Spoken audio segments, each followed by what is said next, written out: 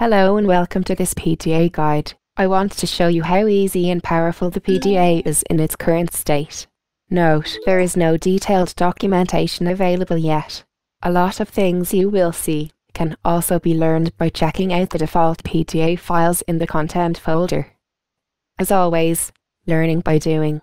As an introduction, I show you a couple of examples in game then how to recreate some of them and afterwards we create a couple of new ones. Get started.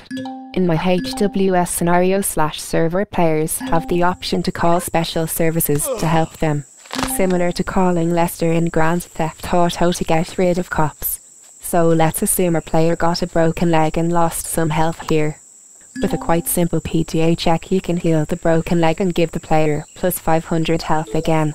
Note, these missions are repeatable but only 10 times. The more often the player uses the mission, the longer the repeat delay.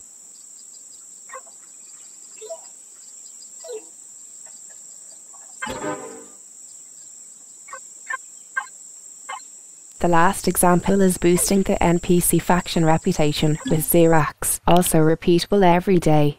It's an easy task to kill some NPCs to impress the Zirax.